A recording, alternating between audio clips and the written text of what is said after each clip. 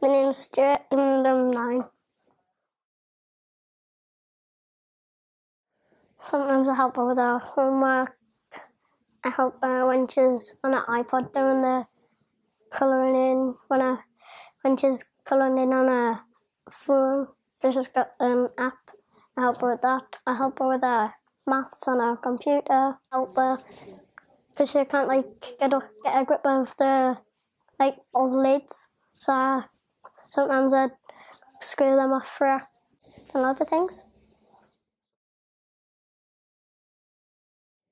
Some of the time would go on a castle and sometimes I'd play a British Bulldog in the outside pit and we've got like footballs and softball so we could play dodgeball. Sometimes I've done airplanes and kites.